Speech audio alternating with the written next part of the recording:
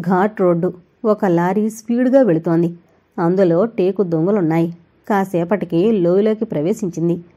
సాయంత్రం వేళ కావడంతో పక్షులు గోళ్ళకు తరలుతున్నాయి. లోయలోకి చీకటి ఆవరిస్తోంది. ఘాట్ రోడ్డు కావడం దానికి తోడు పెద్ద టేకు దొంగలు లోడు చేయడం వల్ల లారీ నెమ్మదిగా వెళుతోంది. అది గాలికొండకొచ్చేసరికి గంటకి పైగా పట్టింది. ఆ లోయ వంపు తిరుగుతుంటే ఎదురుగా కనిపించే మలుపులో ఒక జీపు వస్తూ కనిపించింది. ఇంతలో ఆ డ్రైవర్కి ఫోన్ వచ్చింది. ఆ లారీని పోలీసులు వెంబడిస్తున్నారని త్వరగా వెళ్ళిపోవాలని అతన్ని ఎవరో హెచ్చరించారు. ఫోను సంభాషణ తర్వాత డ్రైవర్ స్పీడ్ పెంచాడు. ఆ డ్రైవర్ పేరు ధర్మలింగం. ఇటువంటి స్మగ్లింగ్ కార్యకలాపాల్లో అతను అందివేసిన చెయ్యి. వెంటనే లారీ వేగాన్ని పెంచాడు. ఆ వేగానికి దొంగలన్నీ కదలడం మొదలైంది. ఎంత స్పీడు పెంచినా హెయిర్ పిన్ బెండ్స్ కావడం వల్ల ప్రతి మలుపులో ఒకటో గేర్కి రావడం వల్ల వేగం ముప్పై మించడం లేదు. రాను రాను ఆ జీపు లారీకి దగ్గర కాసాగింది. కొద్దిసేపు తర్వాత వెనక్కి చూస్తే ఇప్పుడు ఇంకో జీపు దాని వెనకాలొస్తోంది. ధర్మలింగానికి అనుమానం పెద్దదైంది. మళ్ళీ ఫోన్లో మాట్లాడిన తర్వాత పక్కనే ఉన్న క్లీనర్ వెంకటతో ఒరే ఓనర్ గారు లారీని లోయలోకి తోసేమని చెప్పారని వెంకటస్వామి చెప్పాడు. లేకపోతే పోలీసులకు దొరికిపోతాం. దొరికామా? ఇక ఇంతే. ఆ జీపులో కొత్త డీఎస్పీ ఉన్నట్ట ఆడికి దొరికితే ఇక మనకి జైలేనట అన్నాడు స్టీరింగ్ గట్టిగా తిప్పుతూ. ఆ జీపు మన కాడకొచ్చేసరికి అరగంట పడుద్దులే. ఈలోగా రెండు కిలోమీటర్లు వెళితే అక్కడ ఏనుగులోయలోకి తోసేద్దాం అన్నాడు వెంకడు. ఆ తర్వాత ధర్మలింగం మాట్లాడలేదు. రెండు కిలోమీటర్లు స్పీడ్గా పోనిచ్చి ఏనుగులోయ రాగానే లారీని లోయ వైపు తిప్పి కిందకు గెంతేశాడు. అంతకు మునిపే వెంకడు కూడా దూకేయడంతో ఆ లారీ పెనువేగంతో లోయలోకి జారిపోవడం మొదలైంది. రాను రాను అది కిందకు జారిపోతోంది. ఆ ప్రాంతంలో ఆ లోయ లోతు కిలోమీటర్ పైనే ఉంటుంది. అందుకే దాన్ని ఏనుగు లోయ అంటారు. కొద్ది దూరం జారిన తర్వాత టేకు దొంగల కట్లు ఊడిపోయి అవి కిందకు దొర్లిపోవడం మొదలైంది. ఒకదాని తర్వాత ఇంకొకటి లోయంతా పెద్ద శబ్దం. ఇంకో పక్క మేఘంలా ధూళి కప్పేసింది. ఆ సమయంలో శ్రీహర్ష జీపు అక్కడికి చేరుకుంది. అతని వెనకాలే ఫారెస్ట్ గార్డు సోమరాజు జీపు కూడా చేరుకుంది. ఆరుగురు కానిస్టేబుళ్ళు ఫారెస్ట్ గార్డులు తుపాకులతో లోయ దగ్గరికి చేరుకున్నారు. కానీ అప్పటికే లారీ లోయలోకి జారిపోయి కనిపించకుండా పోయింది. లోయంతా ధూళి వ్యాపించి ఏమీ కనిపించడం లేదు. సోమరాజు వాళ్ళు లారీని తోసేసి పారిపోయారో ప్రమాదం జరిగిందో తెలీదు. అయినా మన వాళ్ళు ముందుకెళ్ళి వెతికితే డ్రైవర్ దొరకచ్చు. రేపు ఈ లారీని మనం లోయలోంచి తీస్తే ఆ లారీ ఎవరదో ఈ టేకు కట్టెల దొంగలెవరో తెలుస్తుంది. ఆ తర్వాత ఏం చేయాలో ఆలోచిద్దాం. ఇక్కడ ఇద్దరిని కాపలా ఉంచండి అన్నాడు హర్ష. అలాగే సార్ అన్నాడు సోమరాజు. ఆ మర్నాడు నలభై మంది మనుషులతో ఒక క్రేన్ని తెచ్చి ఆ లోయలో పడ్డ లారీ వెలికితీతకు ఏర్పాట్లు చేశాడు శ్రీహర్ష. కానీ ఆ లోయ చాలా లోతుగా ఉండడం వల్ల అది చాలా కిందకు వెళ్ళిపోవడంతో దాన్ని తీయడం సాధ్యం కాలేదు. ఇరవై మంది కూలివాళ్ళు తాళ్ళు కట్టుకుని లోయలోకి చాలా కింద వరకు దిగిన లారీ ఆచుకి దొరకలేదు కానీ మధ్యలో ఓ జీపు పడిపోయి ఉన్నట్లు వాళ్ళు చెప్పారు. వెంటనే క్రేన్ సహాయంతో దాన్ని వెలికి తీయించాడు. ఓ గంట కష్టం తర్వాత అది బయటకొచ్చింది. దాని రిజిస్ట్రేషన్ నెంబరు పూర్తిగా చిరిగిపోయి కనిపించింది. చాలా రోజుల క్రితం పడిపోయి ఉండడం వల్ల పూర్తిగా పాడైపోయి తుప్పు పట్టేసింది. బాడీ మాత్రమే మిగిలింది. ఆ జీపులో రెండు ఇత్తడి పెట్టెలు మట్టి కప్పబడి కనిపించాయి. మట్టిని తీస్తే ఆశ్చర్యంగా వాటి మీద రుద్రనేత్రం బొమ్మలు కనిపించాయి. ఆ రుద్రనేత్రాన్ని చూడగానే శ్రీహర్షకి దాన్ని ఎక్కడో చూసినట్లు అనిపించింది. కానీ గుర్తుకు రావడం లేదు. జీపులో వెనుతిరిగి వస్తున్నప్పుడు కూడా ఆ విషయమై ఆలోచిస్తూనే ఉన్నాడు. గెస్ట్ హౌస్కి వచ్చేసరికి మధుమిత అతని కోసం ఎదురుచూస్తూ కనిపించింది. ఇద్దరూ బయట లాన్లో కుర్చీలు వేసుకుని కబుర్లలో పడ్డారు. ఈరోజు ఏమిటి విశేషాలు? అని అడిగాడు హర్ష. మా ప్రొఫెసర్ గారు మాట్లాడారు. అతనికి నేను చేస్తున్న ప్రాజెక్ట్ వివరాలు చెప్పాను. అతను చాలా ఆనందపడ్డారు. ఇంకా ఎన్నాళ్ళ పని అని చెబితే పది రోజులని చెప్పాను అంది మధుమిత. అంటే నీ ప్రాజెక్ట్ సక్సెస్ అన్నమాట శుభాకాంక్షలు అన్నాడు. ఇంతలో గెస్ట్ హౌస్లోకి ఒక జీపు ప్రవేశించడాన్ని శ్రీహర్ష గమనించాడు. అందులోంచి నలుగురు కానిస్టేబుళ్ళు వెనకాల బీడులు వేసుకున్న ఇద్దరు వ్యక్తులు దిగారు. హెడ్ కానిస్టేబుల్ గోపాలొచ్చి నమస్కారం పెట్టి సార్ వీళ్ళిద్దరూ నిన్న లోయలో పడిపోయిన లారీ డ్రైవరు క్లీనరు. వీళ్ళని విచారిస్తే ఆ లారీ కైలాసం గారిదని ఈ కలప కోరాపుట్కి తీసుకువెళుతున్నట్లు చెప్పారు. వాళ్ళ దగ్గర ఏ విధమైన కాగితాలు లేవు అని చెప్పాడు. ఓకే ఆ కైలాసాన్ని స్టేషన్కి తీసుకురండి. వీళ్ళిద్దరినీ అరెస్ట్ చేసి రిమాండ్కి పంపండి అని చెప్పాడు హర్ష. కానీ కైలాసం నెల రోజుల నుంచి ఇక్కడకు రావడం లేదని అక్కడ కర్రల మిల్లు వాళ్ళు చెప్పారు. ఆ కర్రల మిల్లు కైలాసంది అయినా అతను అప్పుడప్పుడు అక్కడికి వస్తుంటాడట. అతను పెద్ద స్మగ్లర్. ఇక్కడున్న ముగ్గురు ఫారెస్ట్ కాంట్రాక్టర్లు కైలాసం జోగిందర్ గంగారం. కోట్ల విలువ చేసే టేకు గంధం చెట్లని బయటికి తరలించేసి కోట్లు గడించారు. ప్రభుత్వ పెద్దల అండ ఉండడంతో వాళ్ళేం చేయలేం. ఈ మధ్యన ఇక్కడేదో నిధులున్నాయని చాలా చోట్ల తవ్వకాలు జరుపుతారని ఇక్కడ గిరిజనులు చెబుతున్నారు. వాళ్ళని వదలకూడదు. వాళ్ళ మీద ఓ కన్ను వెయ్యాలి అని కోపంగా చెప్పాడు గోపాల్. అతని మాటలు యథాలాపంగా వింటున్న శ్రీహర్షకి తను చెప్పిన నిధులు అన్న మాట వినగానే ఒక్కసారిగా మెరుపు మెరిసినట్లు ఏదో గుర్తుకొచ్చింది. అవును నిధి. దాని గురించి పురావస్తు శాఖ వాళ్ళిచ్చిన ఫిర్యాదు విషయం గుర్తుకొచ్చింది. తర్వాత ఆ సంస్థ డైరెక్టర్ శివరాం తనతో చెప్పిన విషయాలు గుర్తుకొచ్చాయి. ఆ నిధి ఏమైందో ఆచూకీ తీయమని అతను చెప్పిన విషయం శ్రీహర్షకి బాగా గుర్తుంది. ఆ రోజు అతను చెప్పిన విషయాల్లో రుద్రనేత్రం అన్న పదం చాలాసార్లు దొర్లింది ఈ రోజు లోయలో కనిపించిన జీపులో దొరికిన పెట్టెల్లో రుద్రనేత్రం బొమ్మలు కనిపించడం యాదృచ్ఛికం కాదు. ఈ రెండింటికి ఏదో సంబంధం ఉండుండాలనిపించింది హర్షకు. అతను తీవ్రంగా ఆలోచించసాగాడు. వెంటనే శివరాంకి ఫోన్ చేసి ఆ ఫైలుని దివాకర్తో పంపించమని చెప్పాడు. ఆ రోజు ఉదయాన్నే మధుమిత భీమన్నతో కలిసి అడవిలోకి వెళ్ళింది. శ్రీహర్ష గెస్ట్ హౌస్ లాన్లో కూర్చునున్నాడు. పది గంటల ప్రాంతంలో ఓ జీప్ వచ్చాగింది అందులోంచి దివాకర్ ఇంకో వ్యక్తి దిగారు. దివాకర్ చేతిలో ఒక పెద్ద ఫైలు ల్యాప్టాప్ ఉన్నాయి. వస్తూనే నమస్తే సార్ నేను దివాకర్ని. ఐదు నెలల క్రితం మిమ్మల్ని మీ ఆఫీసులో కలుసుకున్నాను. గుర్తుండే ఉంటుంది అన్నాడు. గుర్తుంది దివాకర్ గారు వెల్కమ్. ఈ అడవికి స్వాగతం అన్నాడు నవ్వుతూ. ఇంతటి కేకారణ్యంలో ప్రయాణం చాలా బాగుంది. నేను ఇది వరకు ఆ నిధి విషయమై ఈ ప్రాంతానికి ఒకసారి వచ్చాను కానీ ఇంతటి అడవిలోకి రాలేదు. ఇక్కడ ఒక్కరూ ఎలా ఉంటున్నారు అన్నాడు. చాలా రోజుల తర్వాత ప్రశాంతమైన ఈ అడవిలో గడపడం ఆనందంగా ఉంది. ఇన్నాళ్ళు ప్రకృతికి దూరంగా బతికాను. ఇప్పుడు ప్రకృతికి దగ్గరగా ఉండడం హాయిగా ఉంది. అప్పుడప్పుడు మనం ఇలాంటి అడవుల్లోకొచ్చి కొన్నాళ్ళు ఉండాలి.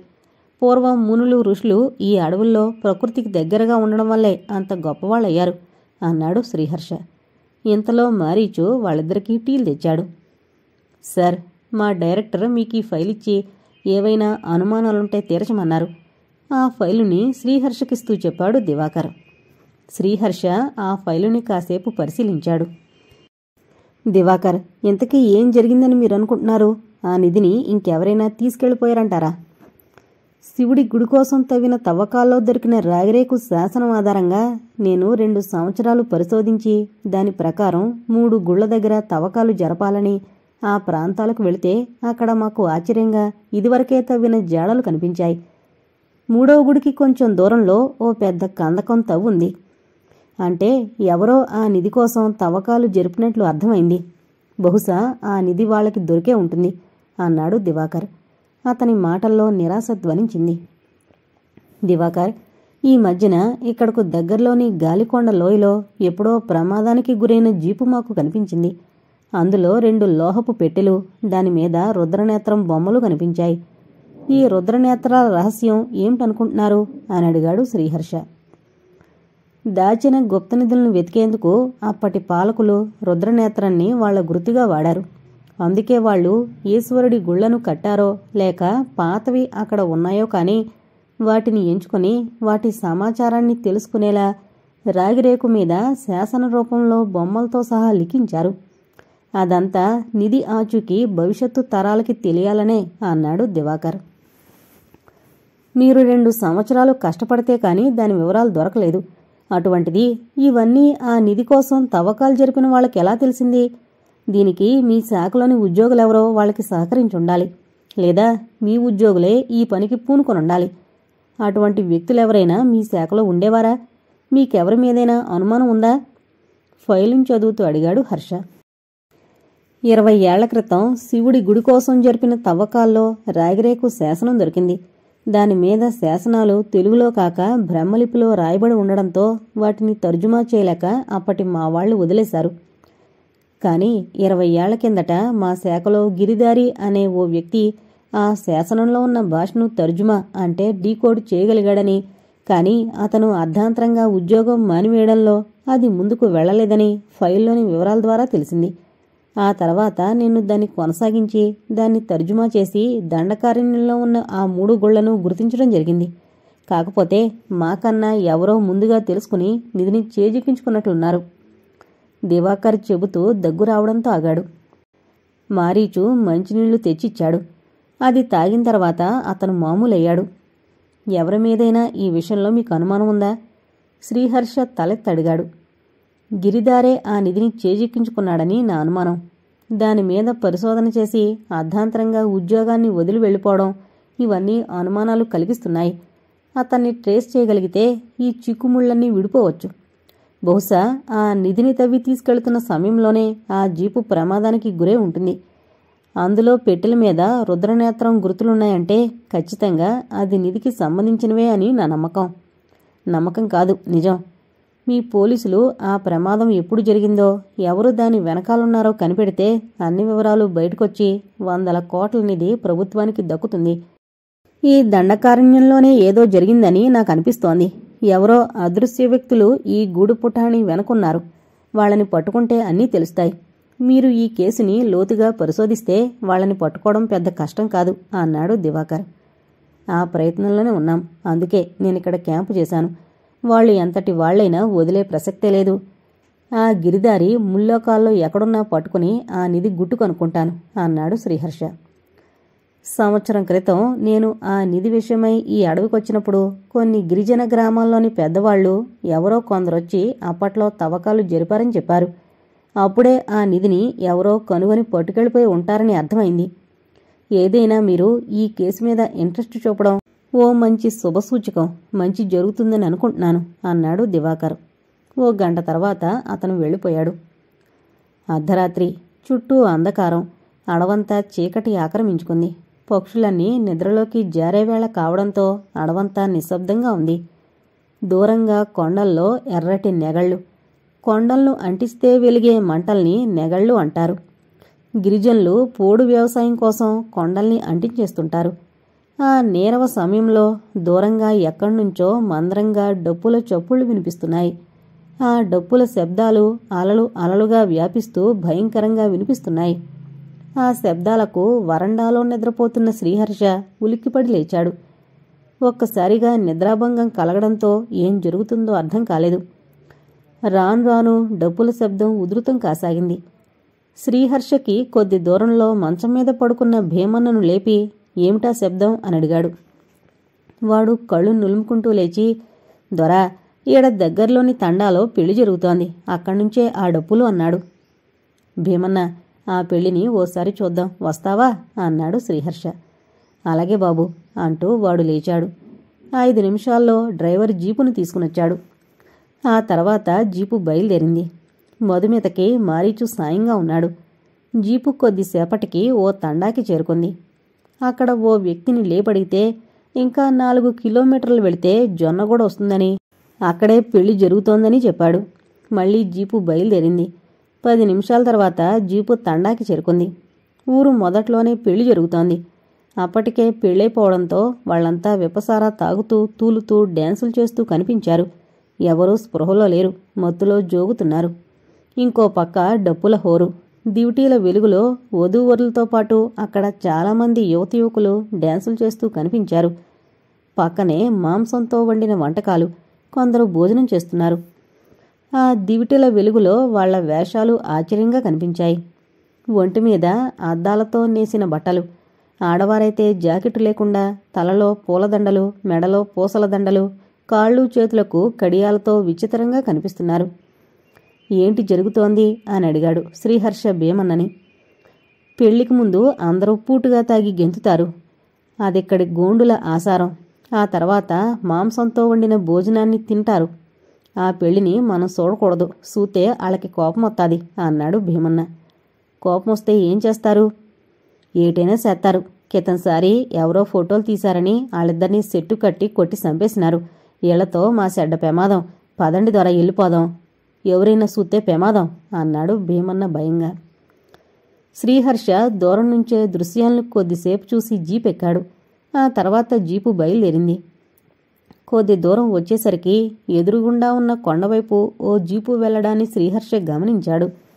ఇంత అర్ధరాత్రప్పుడు ఈ కీకారణ్యంలో జీపు ఎవరిది అన్న సందేహం శ్రీహర్ష కలిగి భీమన్న ఆ జీపు ఎవరిదో తెలుసా? అని అడిగాడు. బాబు ఈ అడవిలో రాత్రిపూట ఎన్నో ఘోరాలు జరుగుతుంటాయి. పులుల్ని ఏనుగులను ఏటాడడానికి ఏటగోళ్ళు అర్ధరాత్రి వస్తారు సెట్లను కొట్టడానికి వాటిని లారీలో పట్టుకుపోవడానికి అన్నింటికీ రాత్రిలే వాళ్ళకి కనిపిస్తే సానా ప్రమాదం పదండి ద్వారా వెళ్ళిపోదాం అన్నాడు. భీమన్న నా దగ్గర తుపాకీ ఉంది. మరేం భయం లేదు. ఆ జీపు వెనక వెళదాం అని డ్రైవర్తో ఆ జీపు వెళ్ళిన వైపు పొమ్మని చెప్పాడు. లైట్లు మాత్రం వద్దని చెప్పాడు. దూరంగా వెళుతున్న జీపు యొక్క ఎర్రని లైట్లు చీకట్లో మెరుస్తూ కనిపిస్తున్నాయి. శ్రీహర్ష జీపు కొద్దిసేపటికి కొండవాలు చేరుకుంది. శ్రీహర్ష హై ఫ్రీక్వెన్సీ బైనాకులర్స్ తీసి చూశాడు. అందులో చీకట్లో కూడా అంతా స్పష్టంగా కనిపిస్తోంది. కొండ అంచున దివిటీల వెలుగు కనిపిస్తోంది. కొద్దిసేపటికి అతనికి స్పష్టంగా అక్కడ మనుషులు కనిపించసాగారు. వాళ్ళు ఏవో తవ్వుతున్నారు. అప్పుడప్పుడు గుణపాలు రాళ్ళకి తగులుతున్నప్పుడొచ్చే ఠంగుమన్న శబ్దాలు ఆ కొండల్లో ప్రతిధ్వనిస్తున్నాయి. శ్రీహర్షకి అక్కడ ఏం జరుగుతుందో అర్థం కాలేదు. అంత చీకట్లో రహస్యంగా వాళ్ళు దేనికోసం తవ్వకాలు జరుపుతున్నారో అతనికి అర్థం కాలేదు. ఆ దృశ్యం చూస్తుంటే అక్కడ ఏదో జరుగుతోందనిపించింది. దండకారణ్యంలో తవ్వకాలంటే ఏదో దుర్భేద్యమైన రహస్యం ఉండే ఉంటుంది అన్న అనుమానం బలపడసాగింది. అప్పుడప్పుడు వాళ్ళ మాటలు వినిపిస్తున్నాయి. దూరంగా దివిటీలు ఆకాశంలో చుక్కల్లా కనిపిస్తున్నాయి. ఇంతలో జీప్ లైట్లు రోడ్డు వైపు ఫోకస్ అవడం మొదలైంది. కొద్దిసేపటికి ఒక వాహనం శబ్దం చేసుకుంటూ మెల్లగా రావడం కనిపించింది. డ్రైవర్ జీపుని దూరంగా చెట్ల వెనక ఆపడంతో వీళ్ళ జీపు వాళ్ళకి కనిపించే అవకాశం లేదు. ఆ జీపు రాను రాను దగ్గర కాసాగింది. ఎదురుగా వచ్చాక ఆ జీప్ ఆగింది. అందులోంచి ఒక వ్యక్తి దిగి మూత్ర విసర్జన చేసి ఎవరితోనో వాకీటాకీలో మాట్లాడడం వినిపిస్తోంది. ఐదు మీటర్లు తవ్వినా ఏం కనిపించలేదు. అయినా మనం అంత లోతు తవ్వలేం. ఇక్కడ కాదనుకుంటాను. రేపు కలుస్తాను అని మాట్లాడిన తర్వాత ఆ జీపు మళ్ళీ బయలుదేరింది. శ్రీహర్ష జీపు వెళ్ళిపోయిన తర్వాత రోడ్డు మీదకొచ్చాడు. అతని వెనకే భీమన్న. ఆ జీపులో ఉన్నవాడెవడో అతను ఏం మాట్లాడుతున్నాడో అర్థం కాలేదు శ్రీహర్షకి. అతని మాటల్లో అక్కడ దేనికోసమో తవ్వకాలు జరుగుతున్నట్లు అర్థమైంది హర్షకు. బాబూ అతనే కైలాసం. ఈడ సెట్లను కొట్టి బయటకు తీసుకెళ్తుంటాడు కాంట్రాక్టరు. ఇక్కడ ముగ్గురున్నారు కదా కాంట్రాక్టర్లు ఆళ్ళల్లో ఈడొకడు అని చెప్పాడు భీమన్న. భీమన్న మాటలు శ్రీహర్షకి ఆశ్చర్యం కలిగించాయి. ఈ కాంట్రాక్టర్లు ఏవో తప్పుడు పనులకు పాల్పడుతున్నారేమోనన్న అనుమానం మరింత బలపడింది. అందుకే ఆ రోజు లారీ కలపని అక్రమంగా తరలిస్తూ లోయలోకి తోసేశారు. ఈరోజు దేని గురించో తవ్వకాలు. అటవీశాఖ వాళ్ళు సరిగ్గా డ్యూటీ చేయడం లేదు. రేపు డిఎఫ్ఓని పిలిచి వాళ్ళని అలర్ట్ చేయాలన్న ఆలోచనకొచ్చాడు హర్ష. అర్ధరాత్రి పూట జీపులు అడవిలో సంచరిస్తున్నా పట్టించుకోవడం లేదంటే వాళ్ళ ఉదాసీనత కనిపిస్తోంది. అసలు అభయారణ్యంలోకి ప్రైవేటు జీపులు ఎలా వస్తున్నాయి? ఏ వాహనం రాకూడని అడవది? ఏదైనా ఈ కైలాసం గురించి ఆరా తీయాలి. అప్పుడే రహస్యం బయటపడుతుందనిపించింది హర్షకు. జీపు గెస్ట్ హౌస్కి బయలుదేరింది. మధుమిత పది గంటలకు మారీచిని తీసుకుని అడవిలోకి బయలుదేరింది. శ్రీహర్ష భీమన్నని తనతో ఉండమని చెప్పడంతో మారీచు మధుమితతో వెళ్ళాడు. పదకొండు గంటల ప్రాంతంలో ఫారెస్ట్ రేంజర్ జీపులో వచ్చి శ్రీహర్షని కలిశాడు. సార్ నా పేరు బ్రహ్మానందం. మా డిఎఫ్ఓ గారు మిమ్మల్ని కలవమన్నారు అని చెప్పాడు. కూర్చోండి బ్రహ్మానందం గారు. ఇక్కడ మీ కలప కాంట్రాక్టర్లు ముగ్గురున్నారు. కైలాసం జోగిందర్ గంగారం. వాళ్ళిక్కడ స్మగ్లింగ్ కార్యకలాపాలకు పాల్పడుతున్నారు. మొన్ననే నేను ఒక లారీని వెంబడిస్తే దాన్ని లోయలోకి తోసేసి పారిపోయారు. మీ గార్డు కూడా దాని గురించి తెలీదన్నాడు. వాళ్ళ మీద మీరు చర్యలెందుకు తీసుకోవడం లేదు? అసాంఘిక కార్యకలాపాలకు పాల్పడుతున్నా మీరేం పట్టించుకోవడం లేదు. మొన్న ఆ కైలాసం అర్ధరాత్రిపూట అడవిలో తిరుగుతూ ఏవో తవ్వకాలు జరుపుతూనా కనిపించాడు. దీనివల్ల ప్రభుత్వానికి చాలా నష్టంతో పాటు ఇక్కడ గిరిజనులకు ఇబ్బందులు కలుగుతున్నాయి అన్నాడు శ్రీహర్ష. ఈ విషయాలు మా దృష్టికొచ్చేశారు స్టాఫ్ని గార్డుల్ని అలర్ట్ చేస్తున్నాను. దీన్ని కంట్రోల్ చేస్తాం అన్నాడు బ్రహ్మానందం. ఆ కైలాసాన్ని ఓసారి పిలిపించండి. అతని మీద నాకు కొన్ని అనుమానాలున్నాయి అన్నాడు శ్రీహర్ష. గార్డు శంకర్ని పంపించాను. మరో అరగంటలో వస్తాడు అన్నాడు. ఇంతలో భీమన్న ఇద్దరికీ టీలు పట్టుకొచ్చాడు. అరగంట తర్వాత గార్డు శంకర్ వచ్చి సార్ కైలాసం నెల రోజుల నుంచి ఇక్కడకు రాలేదని మిల్లు వాళ్ళు చెప్పారు అన్నాడు. అతని మాటలకు హర్ష ఆశ్చర్యపోయాడు. వాళ్ళు అబద్ధాలు చెబుతున్నారు. నిన్న రాత్రే అతన్ని మేం చూసాం. దీన్ని బట్టి అతను రహస్యంగా ఇక్కడికి వచ్చినట్లు తెలుస్తోంది. వాడి ఆచూకీని తెలుసుకోండి అన్నాడు హర్ష. తప్పకుండా. అతను ఎక్కడున్నాడో కనుక్కొని రప్పిస్తాను. వాడి వ్యవహారాల మీద ఓ కన్ను వేసి ఉంచుతాం అని చెప్పి వెళ్ళిపోయాడు. మధ్యాహ్నం మూడు గంటల దాకా ఏవో ఫైళ్ళను చూస్తూ కూర్చున్నాడు హర్ష. మధుమతొస్తే భోజనాలు చేద్దామని చూస్తున్నాడు. ప్రతిరోజు రెండు గంటలకే గెస్ట్ హౌస్కి వచ్చేసేది మధుమిత. అటువంటిది ఆ రోజు ఇంకా రాకపోవడంతో ఆలోచనలో పడ్డాడు శ్రీహర్ష. కొద్దిసేపు ఆలోచించి అడవిలోకి జీపులో బయలుదేరాడు. భీమన్న చెబుతుంటే ఏనుగు కొండ లోయ దగ్గరకు చేరుకున్నాడు. వాకీటాకీ ఆన్ చేశాడు. అవసరం వస్తే మాట్లాడమని ఆమెకి ఓ వాకీటాకీ ఇచ్చాడు హర్ష. శ్రీహర్ష హియర్ మధు ఎక్కడ? ప్లీజ్ రెస్పాండ్ అని రెండు మూడు సార్లు పిలిచాడు.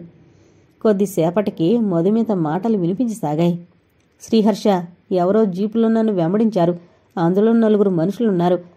నేను మొన్న మనం వెళ్ళిన ఆ లోయ అంచునున్నాను. ఆ జీపులో వాళ్ళు మా మీద అటాక్ చేయబోయారు.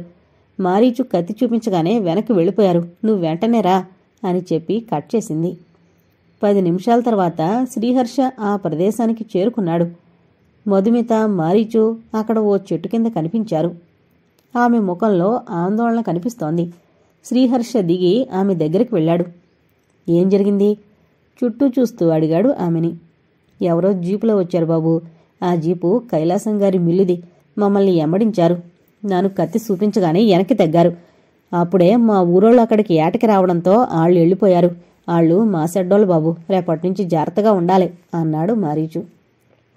అవును హర్ష ఆ జీపు మా వెనకాలొస్తుంటే భయం వేసింది. వాళ్ళు క్రిమినల్స్లా ఉన్నారు. సమయానికి మారీచు బెదిరించకపోతే వాళ్ళు ఏం చేసి ఉండేవాళ్ళో? అయినా ఈ రోజుతో నా ప్రాజెక్టు పూర్తయిపోయింది. చాలా వరకు వివరాలు సేకరించాను అంది మధుమిత. ఆ మాటలు చెబుతున్నప్పుడు ఆమె ముఖంలో భయం కొట్టచ్చినట్లు కనిపిస్తోంది. శ్రీహర్ష ఆమెని జీపులో ఎక్కించుకుని గెస్ట్ హౌస్కి చేరుకున్నాడు.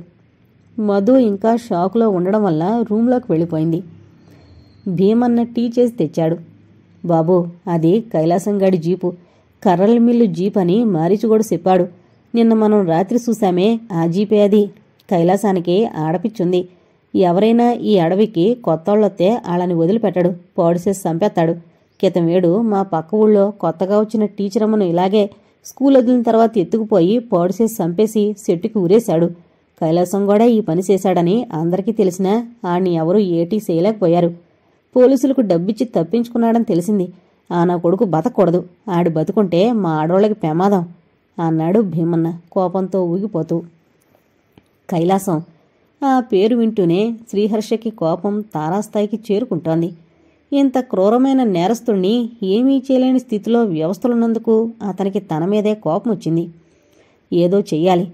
పండితే ఏ పండు చెట్టునుండదు. రాలిపోక తప్పదు. చూద్దాం వీడి పాపం ఎప్పుడు పండుతుందో. మనసులో అనుకుని లోపలికెళ్ళాడు శ్రీహర్ష. గదిలో మధుమిత అన్యమనస్కంగా కూర్చునుంది. ఆమెకు ఆ రోజు అడవిలో జరిగిన సంఘటన గుర్తుకొస్తోంది. దీని గురించి నువ్వేం ఎక్కువగా ఆలోచించుకో. ఇలాంటివి అప్పుడప్పుడు జరుగుతుంటాయి. అందుకే మొదట్నుంచి నీ వెంట ఈ అడవి గిరిజన యువకుడిని ఉంచాను. వాళ్ళు తమ ప్రాణాల్ని త్యాగం చేసేనా మనల్ని కాపాడతారు. ఈ రోజు నీ అదృష్టం బాగుంది. రేపు జీపులో విశాఖ వెళ్ళిపోదు గాని. నేను అడవి దాటేదాకా నీతో పాటు వస్తాను అన్నాడు శ్రీహర్ష. ఆ తర్వాత ఇద్దరూ డైనింగ్ టేబుల్ మీద భోజనం చేసి లాన్లోకొచ్చి కూర్చున్నారు. మారీచు వాళ్ళకి బత్తాయి రసం తెచ్చిచ్చాడు. రాత్రి ఎనిమిది దాకా వాళ్ళిద్దరూ అక్కడే కూర్చుని కబుర్లు చెప్పుకున్నారు. ఆ తర్వాత మారీచు చపాతి చేసి తెచ్చాడు. వేడివేడి చపాతీలు బంగాళదుంప కూర ఆ చెల్లిలో తింటూ ఉంటే చాలా బాగున్నాయి. రాత్రిపూట వెన్నెల కురుస్తుంటే చెట్ల మధ్య కూర్చుని అందమైన అమ్మాయితో కబుర్లు చెప్పుకుంటూ తినడం అనేది ఒక అందమైన అనుభూతి కలిగించింది శ్రీహర్షకు. నెల రోజుల నుంచి నువ్వు ఉన్నావు కాబట్టి నాకు సమయం తెలియలేదు. రేపటి నుంచి నేను ఒంటరిగా ఇక్కడ ఉండాలి. ఇక్కడ పక్షులతోనూ జంతువులతోనూ మాట్లాడుకోవాలి అన్నాడు నవ్వుతూ. తను రేపు ఈ అడవిని వదిలి వెళ్ళిపోతున్నాను అన్న ఆలోచన రాగానే మధుమితకి ఒక్కసారిగా బాధ కలిగింది. ఈ నెల రోజులు శ్రీహర్ష సాన్నిహిత్యంలో సమయం ఇట్టే గడిచిపోయింది. ప్రతిరోజు జంతువులతో పక్షులతో తను గడిపిన మధురమైన క్షణాలు ఆమెకు గుర్తుకొచ్చి కంటనీరు చెమ్మగిలింది అవి మనుషుల కన్నా ఎక్కువగా ప్రేమని తన మీద కురిపించాయి. మనిషి కూడా రెండు కాళ్ళ జంతువు అని ఆమె ఎక్కడో చదివింది. అవును మానవుడు కూడా జంతువే కాకపోతే స్వార్థపరుడు. అడవిలో జంతువులకు అది ఉండదు. ఆమె ఆ అడవిలో ఎన్నో జంతువులను చూసింది కొత్త పక్షుల్ని గమనించింది వాటితో ఎనలేని బంధం ఏర్పడింది. ఇప్పుడు ఒక్కసారిగా వాటిని విడిచి వెళ్ళడం ఆమెకు బాధ కలిగిస్తోంది. అర్ధరాత్రి కావడంతో లోపలికి వెళ్ళిపోయింది. అలా ఆలోచిస్తూ ఆమె నిద్రలోకి జారిపోయింది. శ్రీహర్ష ఆ రాత్రి ఆకాశం కిందే పడుకున్నాడు. ఆ వెన్నెల్ని వదిలి వెళ్ళలేకపోయాడు. వదిమిత వెళ్ళిపోతుందన్న ఆలోచనని భరించలేకపోతున్నాడు. అలా ఆలోచిస్తూ కళ్ళు మూసుకున్నాడు. ఆ రాత్రి అడవిలో నిశ్శబ్దం భయంకరంగా ఉంది. అప్పుడప్పుడు క్రూరమృగాల అరుపులు అలజడిని పెంచుతున్నాయి. దూరంగా ఎర్రటి నెగళ్ళతో కొండలు. అడవి అంటుకుంది అంటే ఇదే కాబోలు అనిపించింది. ఎక్కడ్నుంచో డప్పుల మోతలు చెవుల్లో ప్రతిధ్వనిస్తున్నాయి. రాత్రి అడవి నిద్రపోదు. రాను రాను ఆ చప్పుడు మరణ మృదంగల్లా వినిపిస్తోంది. అప్పుడప్పుడు భయంకరంగా తీతు అరుపు. ఈ రాత్రి ఏదో జరగబోతోంది ఈ అడవిలో అని అనిపిస్తోంది అతనికి. ఈ ఆలోచన రాగానే భయం వేసింది. క్షణాలు మెల్లగా గడుస్తున్నాయి. అలా ఆలోచిస్తూ ఉంటే కళ్ళు మూతలు పడుతున్నాయి. నిద్ర ముంచుకొస్తోంది.